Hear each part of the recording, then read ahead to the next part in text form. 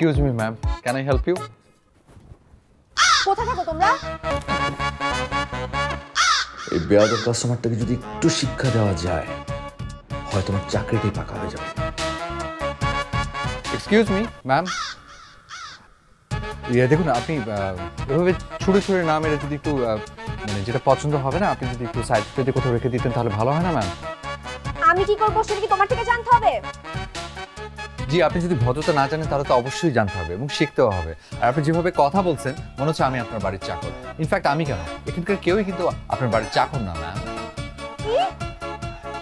Manager manager ji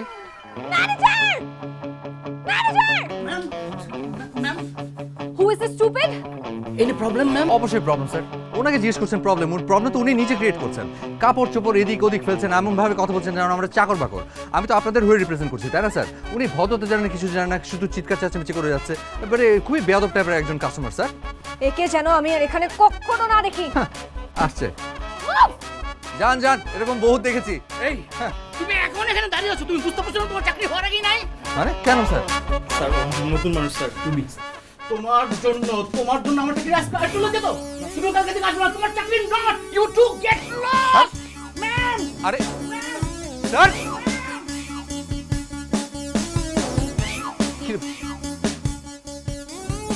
উনি কে? কি করলে এটা তুমি?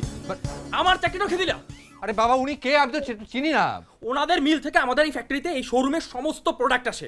ওনার সাথে কোটি টাকার বিজনেস ভাইয়া তুমি কি করলা? এটা উনি খুব রাগী একজন মহিলা। ওনাকে কোথায় পাবো না? হাতে পায়ে ধরে যদি চাকরিটা বাঁচাতে পারি তোর। চল তো আয়। এই দিকেই রাখে। ম্যাডাম গাড়ির পিছনে আপনি তো একটু পিছালি তো। আমি কোনো কথা শুনব না আমি বলছি আপনি গাড়ি পিছে সজীব আমার মনে হয় তোর এই যাত্রায় চাকরি বেঁচে গেল। কীভাবে? আর বেটা লুক। তোর ম্যাডামকে অপমান করছে। আমরা তোর ম্যাডামের অপমানের প্রতিশোধ নিব। তারপর সে আমাদের চাকরি দিয়ে দিবে। তোর চাকরিটা বেঁচে যাবে। ইজি এন্ড সিম্পল ভাইয়া চলো চলো চলো চলো চলো। না আমি পিছনে আমার পিছনে অনেক গাড়ি আছে। আপনি একটু পিছালি তো হয়ে যায় কি হচ্ছে এখানে? দেখেন ভাইয়া আম- ম্যাডাম আছে রং সাইডে। আমি বললাম একটু পিছান। দেখেন আমার গাড়িটা ঢুকবে। আর উনি রং সাইডে এসে এরকম দাঁড়ায় আছে। আবার আবার উনি জিত করতেছে। এই কাটা। কি বলে আপনি এরকম করছেন কেন? আবার কথা কয়। তুই ম্যাডামের চিনস? আমারে চিনস? একেবারে দাবো কি সমস্যা? এই, এই ধর! এই, ম্যাডাম?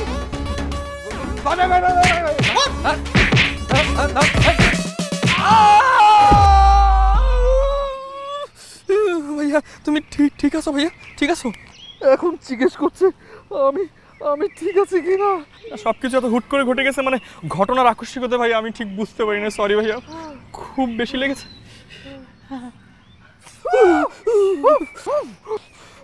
ভাইয়া তাইলে এখন কি করব আমরা ভাইয়া? কি করব?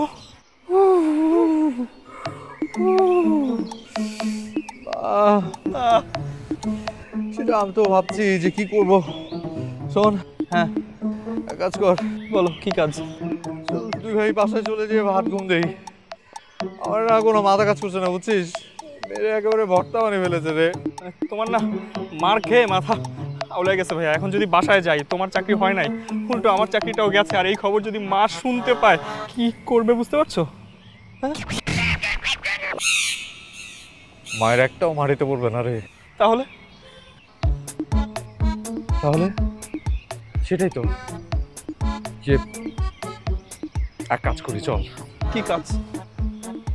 মাকে না বলারই দরকার নাই যে আমার চাকরি হয়নি। তুই মাকে বলবি যে আমার চাকরি হয়েছে আর তোর তো আছেই।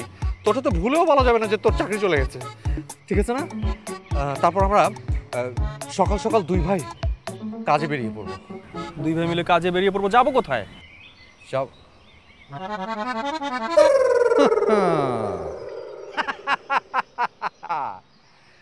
এখানে এসে বসে থাকব। এখানে পার্কে? হ্যাঁ পার্কে। পার্কে কি চাকরি পাওয়া যায় ভাইয়া? যাবে। মানে? সামনে একটু তাকিয়ে দেখ। কি দেখতে পাচ্ছিস?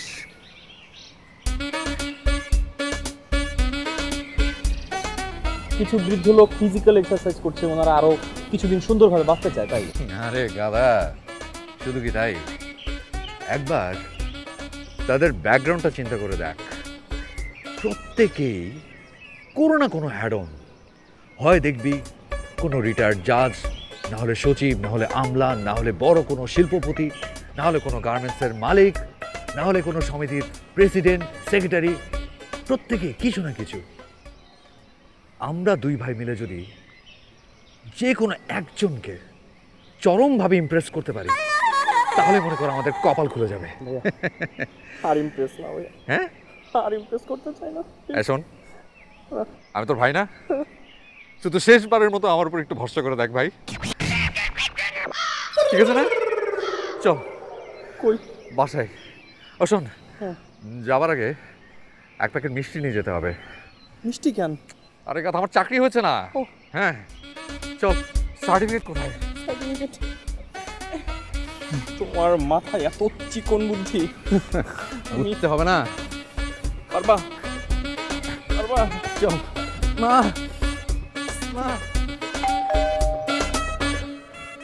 মা। আরে কি হচ্ছে? মা আমার চাকরি হয়েছে মা। মা। ভালো খবর। নাও মিষ্টি মুখ করো নাও। আ করো নাও। তুই মুখ কোদিকে ঘুরিয়ে আছিস কেন?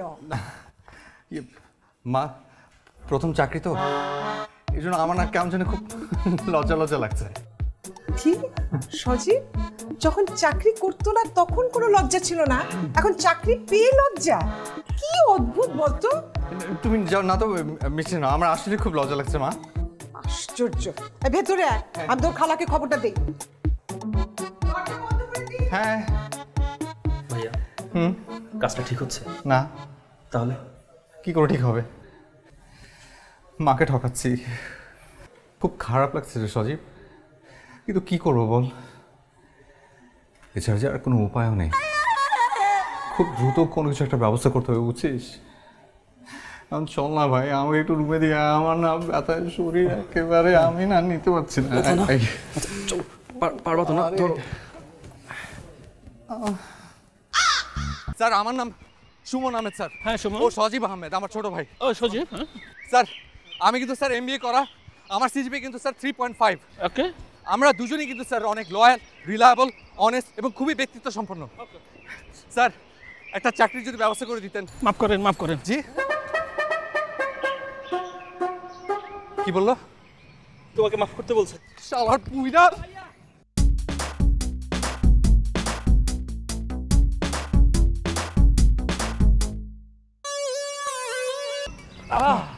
ভাইয়া হ্যাঁ আমাকে দেওয়া সম্ভব না আমি আর পারছি না। একটা পুরাও ইমপ্রেস হচ্ছে না উল্টা আমরা অসুস্থ হয়ে যাচ্ছি। আরে অধৈর্য হয়ে পড়িস না। শোন।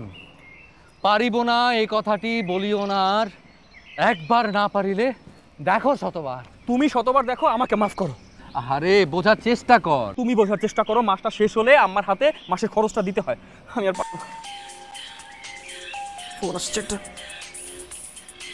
মোটা ম্যানেজার হ্যাঁ? ধর স্যার। স্যার আমি অফিসের খুব কাছে স্যার।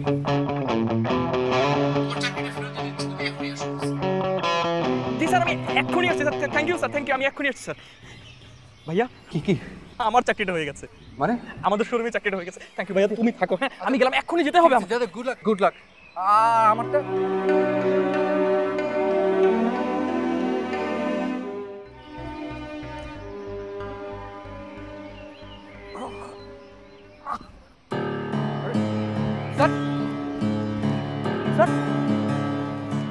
আপনি ঠিক আছেন?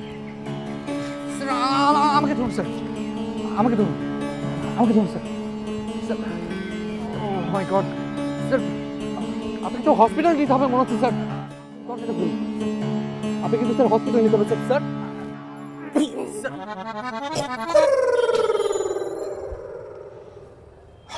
স্যার বুকে গ্যাস আটকে গিয়েছিল। এখন একটু ভালো বোধ হচ্ছে। আমি তো ভয় পেয়ে গেছিলাম স্যার। আমি তো ভেবেছিলাম আপনি হার্ট অ্যাটাক ট্যাটাক আল্লাহ না করুক তবা তবা। না না। তোমাদের মতো যুবকরা আছে বলেই আমাদের দেশে হিউম্যানিটি জেগে আছে এখনও। প্রাউড অফ ইউ কি নাম জানো তোমার? জি স্যার আমার নাম সুমন আহমেদ। কি করা হয়? এখনও কিছু করা হয় না স্যার ওই চাকরি খুঁজছি।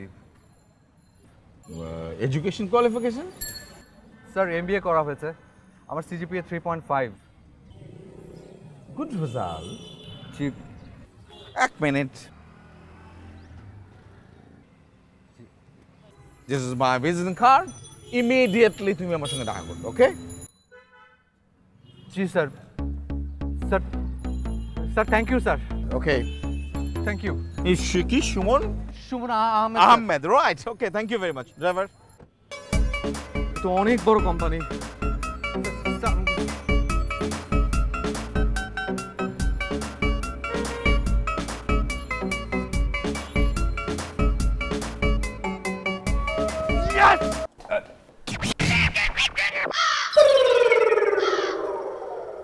তুমি?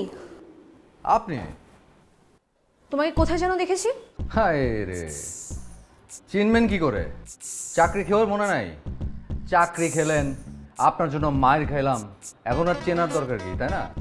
তবে শুনেন, সব জায়গা কিন্তু আপনার টেরিটরি না। এটা আমার টেরিটরি এখানে আজই আমি নতুন জয়েন করেছি। আপনি চাকরি খাবেন? ঠ্যাঙ্গা করতে পারবেন। কারণ মালিক নিজে আমাকে চাকরি দিয়েছে। কি সাবির ভাই? সুমন সাহেব, আমাদের চেয়ারম্যান স্যারের মেয়ে, এই অফিসের ডিরেক্টর আরে দূরের কত চেয়ারম্যান মে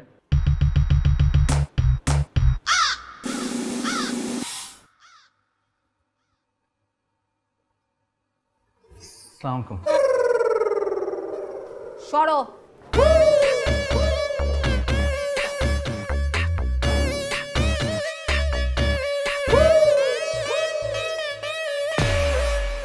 নতুন একটা ছেলেকে চাকরি দিয়েছ দেখলাম? ও হ্যাঁ খুব ভালো ছেলে। কেন? মানে ভালো রেজাল্ট করেছে ভালো জিনিয়াস ছেলে। জানিস এত ভালো ফ্যামিলির ও না আমাকে পাঁচ ছয় সালাম পর্যন্ত করল। আমি ওকে চিনি। চিনিস? কীভাবে চিনিস? That's none of your business I want him in my department মানে আজকেই জয়েন করল ও কি বাঘিনীর খাঁচা? মানে মানে তোর তোর ডিপার্টমেন্টে কোপ করতে পারবে? দ্যাট ইজ মাই বিজনেস কাকে কীভাবে আমি হ্যান্ডেল করব সেটা আমার বিষয়। ওকে ডাকো। এক্ষুনি? এখনই ডাকো।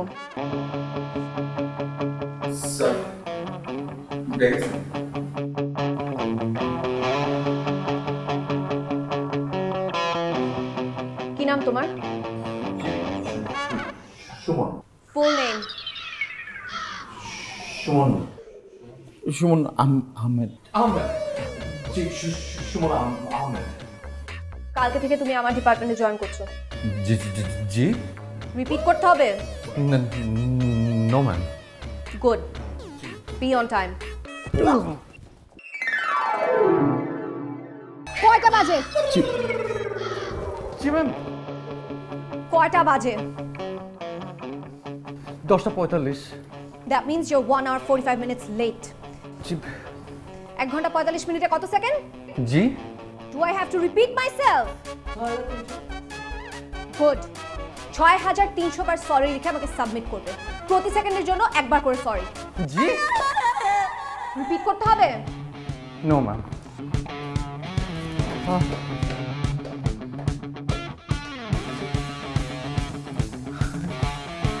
ছয় হাজার তিনশো বার সরি লিখতে তো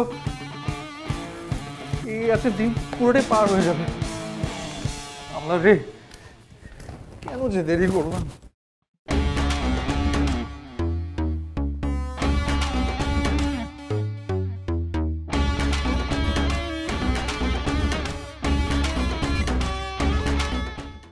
সুমন?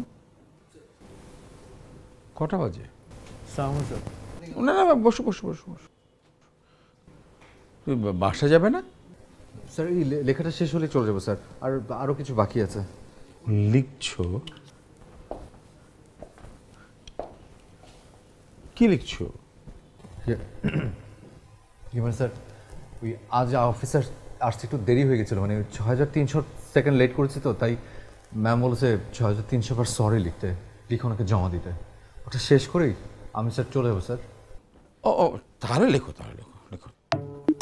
আচ্ছা একটা কথা বলি মানে তোমার ম্যাডাম কি এতগুলো লেখা সরি পড়বে গুনে দেখবে? আপনি স্যার আপনার মেয়েকে চিনেন না। দেখা যাবে আমাকে দিয়েই গুনিয়ে নিয়েছে। তাই honest is the best policy হ্যাঁ honest is the best policy ঠিক আছে ঠিক আছে।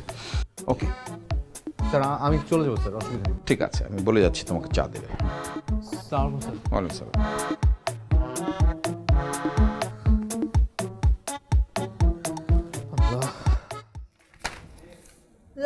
রিপোর্টটা ভুল হলো কেন? কোথায় ম্যাম এই যে।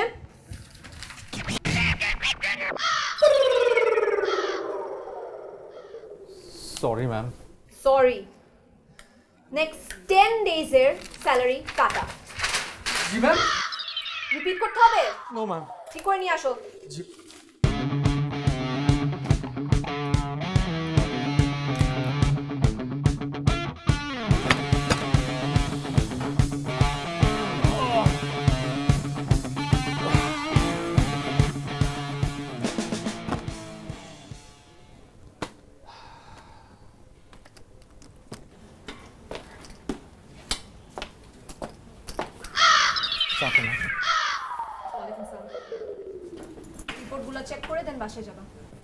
জি ma'am do I have to repeat no ma'am good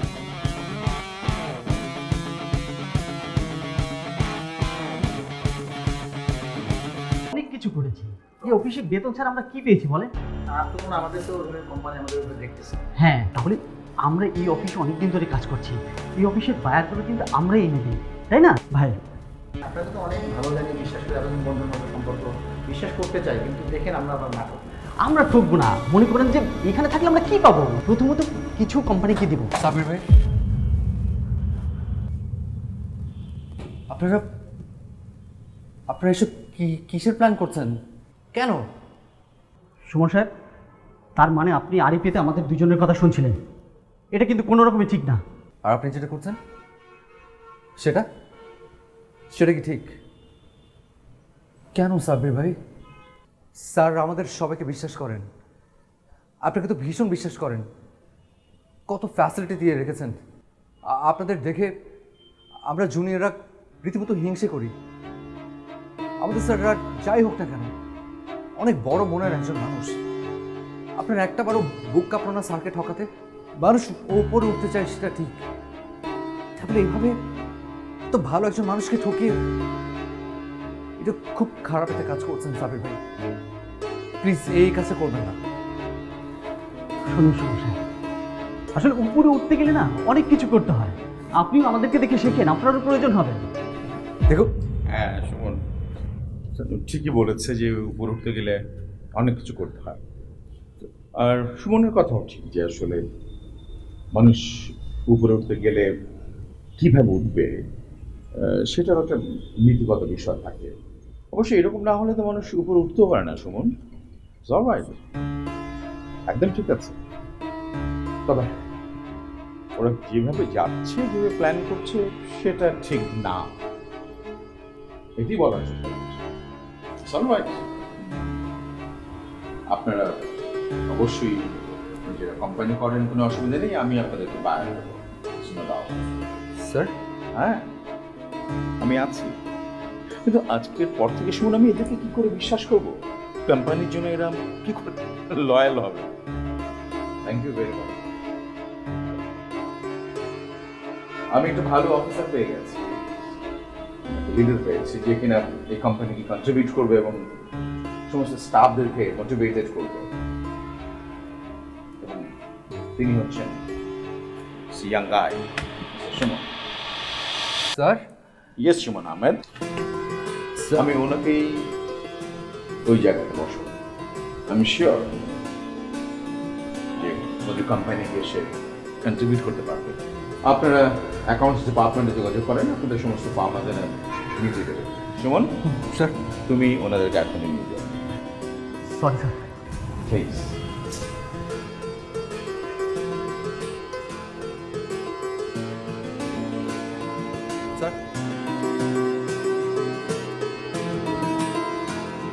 আসসালামু আলাইকুম রহমতুল্লাহ ওয়ালাইকুম আসসালাম। আমি হুসাইন মোবারক। এটা কি সুমন্দির বাসা জি। আমি আপনার পরিচয় জানতে পারি। আপনি কি হন? আমি সুমনের মা। ও আচ্ছা আচ্ছা আমি একটা জরুরি কথা বলতে এসেছি। আমি কি প্রবেশ অধিকার পেতে পারি? আপনি সুমন আমার ওখানে চাকরি করে। প্লিজ আসুন ভেতরে আসুন অনেক ভেতরে আসুন। আমার এই গরিবখানায় কোথায় যে আপনাকে বসতে দিই? বসুন বসুন। না না না আমি সব জায়গায় বসতে পারি। আমাকে নিয়ে কোনো চিন্তা নেই। স্যার সুমন তো বাসায় নেই। ওকে অফিসে কোনো ঝামেলা? না। আমি জানি যে ও বাসা নেই। আমি আপনার কাছে এসেছি। জি বিষয়টা হচ্ছে যে আমি আপনার কাছে এসেছি একটা আর্জি নিয়ে এসেছি। জি জি এইভাবে বলবেন না স্যার। আপনাদের দয়ায় তো আমাদের সংসার চলে। ছি, ছি, ছি, সমস্ত কথা বলবেন না। কি নাম? সুফি। সুফি আপনার কখনোই বলবেন না এই কথাটা হ্যাঁ? মহান আল্লাহ তালা হচ্ছে রেজেকের মালিক। আপনার ছেলে চাকরি করে তার বিনিময়ে সে বেতন পায়। এখানে কেউ দয়া মায়া করে না। তবে আজকে আমি বলতে পারেন খানিকটা দয়ার জন্য এসেছি। এভাবে বলবেন না স্যার। কি বলবেন বলুন? কি যেন নাম আপনার? সুফিয়া। সুফিয়া আপনি আপনি আমাকে স্যার বলবেন না। আমি এসেছি একজন কন্যা দায়গ্রস্ত পিতা হিসেবে। আমার একমাত্র মেয়ে জিনিয়া ওর ছোটবেলায় ওর মাকে হারিয়েছে। আমি ওকে বাবার আদর, মায়ের আদর অতিমাত্রায় দিয়েছি। মেয়েটা আমার একটু জীবী হয়ে গেছে। অনেক চেষ্টা করেছি জিত কমাবার জন্য, কিন্তু মানে আমার এই মেয়েটার জন্য অনেক ছেলে খুঁজেছি, কিন্তু অ্যাডজাস্ট হবার মতো কোনো ছেলে পাইনি। কিন্তু আমি আপনাকে কীভাবে সাহায্য করতে পারি আমি ঠিক আমি বুঝি বলছি মানে আমার মেয়ের জন্য আপনার ছেলের চেয়ে ভালো পাত্র হতেই পারে জি? জি। যিনি একটু রাগী হতে পারে কিন্তু মানুষ হিসেবে অনেক ভালো। আপনি কি বলছেন? আপনারা কোথায় আর আমরা কোথায়? মানে আপনি আমার ছেলেকে আপনার মেয়ের যোগ্য মনে করছেন এটা তো আমার চরম সৌভাগ্য। সুফিয়া আমাকে কথা দিতে হবে প্লিজ আপনি প্লিজ এভাবে বলবেন না। আমার ছেলেটা আসুক আমি ওর সাথে কথা বলে আপনাকে জানাই। আপনি আমাকে ফিরিয়ে দেবেন না রে সুফিয়া। সুফিয়া? আমার ছেলের সাথে কথা না বলে কীভাবে কথা দেই বলুন?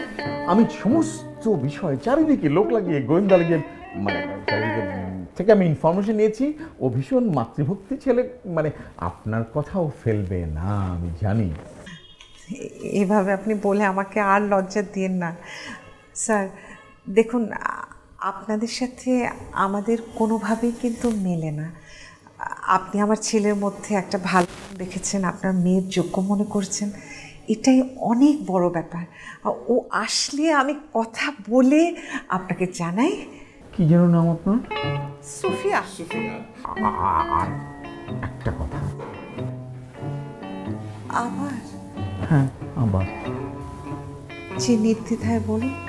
সুফিয়া আপনি আমাকে নির্দ্বিধায় বলতে বললেন সেজন্য খুব খুশি হলাম।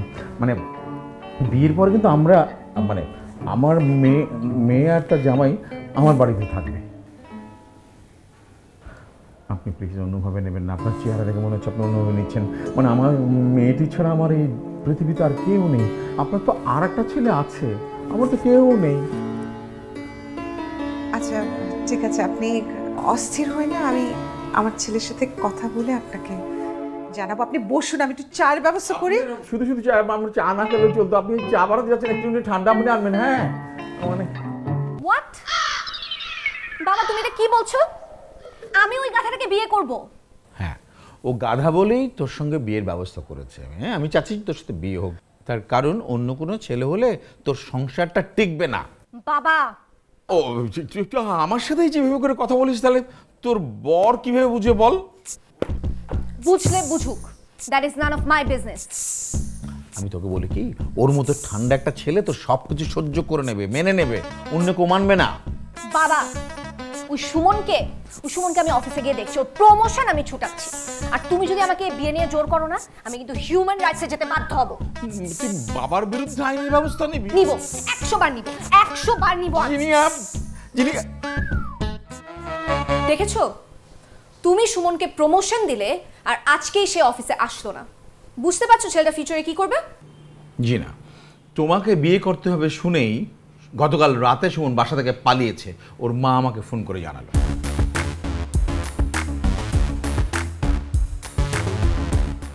ভাই দেখেন এইভাবে আমাকে একা ফেলে যাবেন না। ভাই ভাই আমার কথাটা শোনেন এইভাবে যাবেন না। আমি একজন অসহায়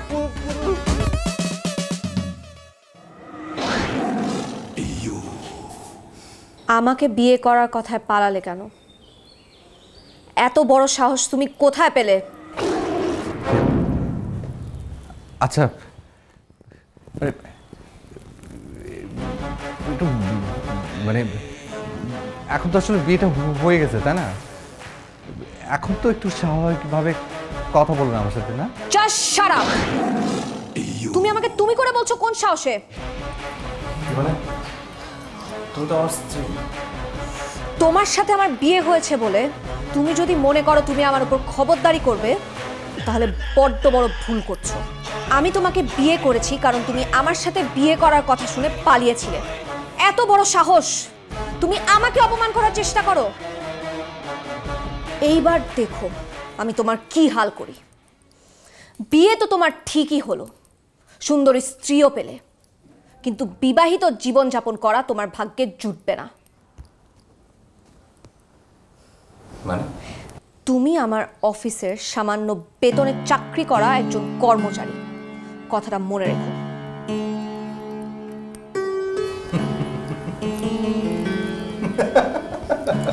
হাসছো কেন? আসছি কারণ আমি ভেবেছি তুমি হয়তো একটু বুদ্ধিমান। কিন্তু এখন বুঝছি। যে না, তুমি তার থেকে বেশি অহংকারী। ঠিকই বলেছ। আমি একজন সামান্য কর্মচারী। খুবই ক্ষুদ্র, তুচ্ছ একজন মানুষ। আমি তোমার অফিসে চাকরি করা সামান্য বেতনের একজন তুচ্ছ কর্মচারী। একবার ভেবে তোমার অফিসে সামান্য বেতনের চাকরি করা একজন ক্ষুদ্র কর্মচারী। যদি বিয়ের পর পরে তোমার মতো একজন মানুষকে ডিভোর্স দিয়ে দেয়, তখন কি হবে?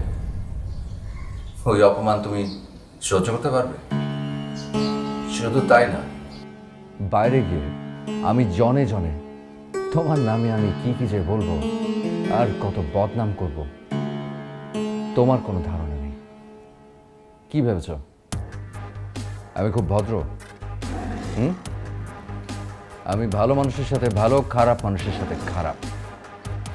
তুমি আমাকে খারাপ হতে বাধ্য করছ। তাই? অফিসে? তুমি আমার বস মানলাম। কিন্তু বাড়িতে?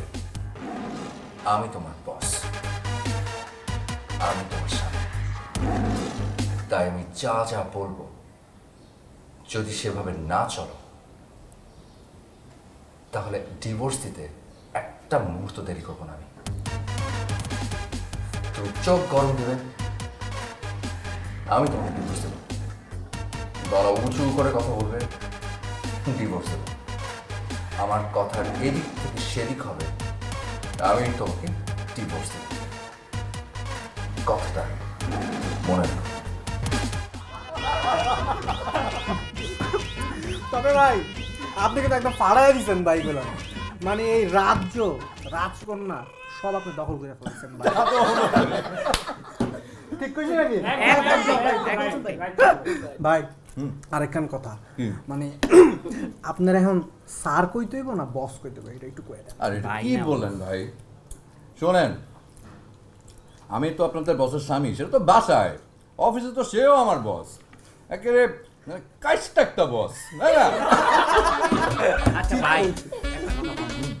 বাসর বিড়ালটা মারলো। আই জবরদস্ত কোয়েশ্চেন করছেন। কে মারবে বুঝেন না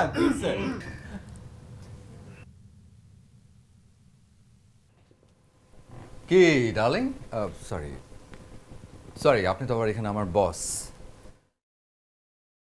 তা বস কি করতে পারি আপনার জন্য বলুন?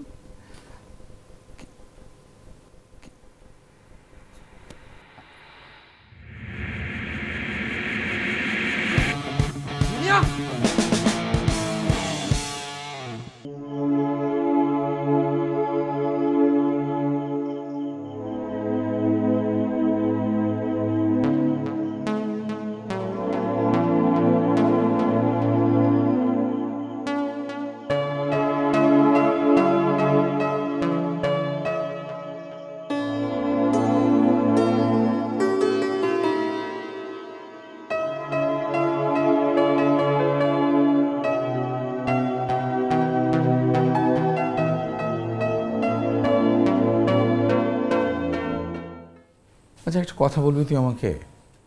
তোর কার উপরে তো জিদ যে কাজটা করেছিলি। রক্তক্ষরণে তুই যদি মরে যেতি? ভালো হতো।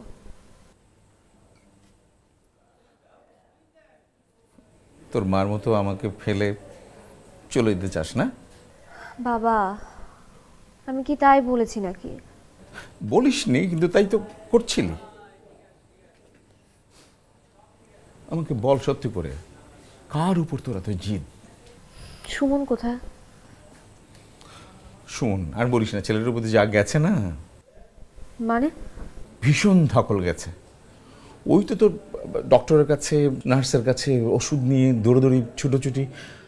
আর সবচেয়ে ওই সময়টা আমার খুব খারাপ লেগেছিল। ও বাচ্চাদের মতো হাউমাউ করে কাঁদছিল ডক্টরের কাছে যে ডক্টর ওর ব্লিডিং বন্ধ হবে তো? স্যার আসব। হ্যাঁ হ্যাঁ এসো এসো। তোমার কথা হচ্ছিল এসো তোমার স্যার এই জুস জুসটা ওনাকে খেয়ে নিতে বলেন। এনার্জি বাবা আমি কি ওর সাথে একটু একা কিছুক্ষণ কথা বলতে পারি? শিওর বসো। তোমার একটু কথা বলো।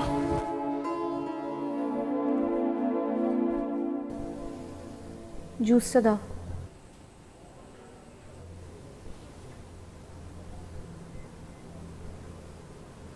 বসো।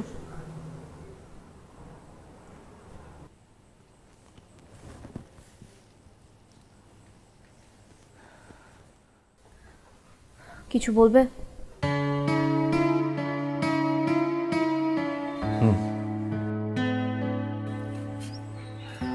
আম সরি আসলে সব কিছু অনেক বেশি বেশি করে ফেলেছি না? আম রিয়েলি সরি আর শুনুন, আপনি না এই এই বিয়ে বা অন্যান্য বিষয় নিয়ে খুব একটা টেনশন করবেন না ওকে আমি চলে যাব। আমি জানি আপনি রাগ আর জেদের মাথায় আমাকে বিয়ে করেছেন। আর এখন ভীষণ পস্তাচ্ছেন। দু একদিনের বিয়ে তো আপনার খুব একটা বিড়ম্বনে পড়তে হবে না। তেমন কেউ তো জানেও না।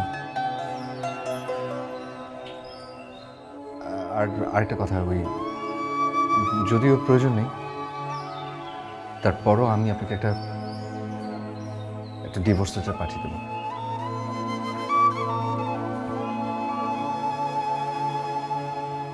আপনি ভালো এম সরি টু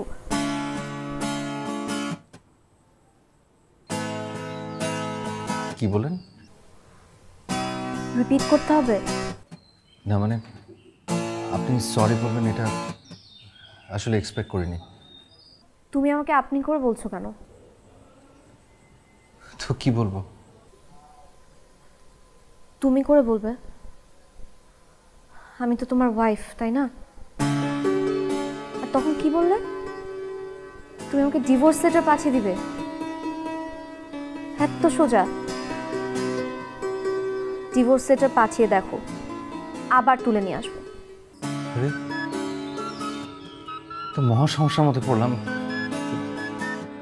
তুমি আসলে চাওটা কি? শান্তি। পারবে দিতে? বাবা মার একমাত্র মেয়ে। অনেক ছোটবেলায় মাকে হারিয়েছি। অল্প বয়সে অনেক কিছুর হাল ধরতে হয়েছে। আমার বাবা অনেক উদার মনের মানুষ তো। পৃথিবীটা এত উদার না। চারপাশে কঠিন হৃদয়ের মানুষের সংখ্যাই বেশি। আর এই মানুষগুলোকে হ্যান্ডেল করতে করতে নিজে কবে এত কঠিন হয়ে গেলাম? জানি না। সেদিন তুমি যেন কি বলছিলে? খাইসটা বস, না? ঠিকই বলেছ। আমি না আসলেই খাইসটা একটা বস।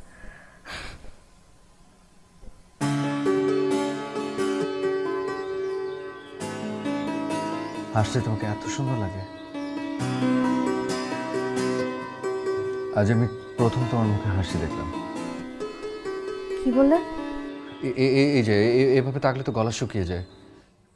একটু রোমান্টিক হওয়ার চেষ্টা করছিলাম সেটাও ঘাবড়ে দিলে। কেন যে রোমান্টিক হতে যাই ঠিক আছে আর আর এসব চেষ্টা করব না। যেভাবে চাও যেরকম চাও আমি সেরকমই থাকব। না। একটুও বদলাবে না। তুমি যেমন আছো তেমনই থাক। বরং আমি নিজেকে মানিয়ে নেওয়ার চেষ্টা করব। জানো মাহবুদ এ কি শুনছে তোমার অধম বান্দা? আর? আরেকটা কথা। আমি তোমাদের বাসায় গিয়ে থাকতে চাই। এটাই তো স্বাভাবিক তাই না? মেয়েরা বিয়ের পর তাদের শ্বশুরবাড়িতে থাকে এটা নর্মাল না? কি কি বললে? Do I have to repeat myself হ্যাঁ। You have to repeat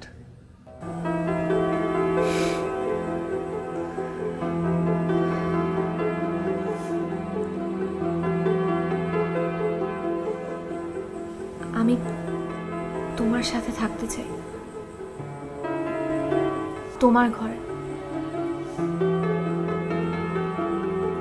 Sara Jibon.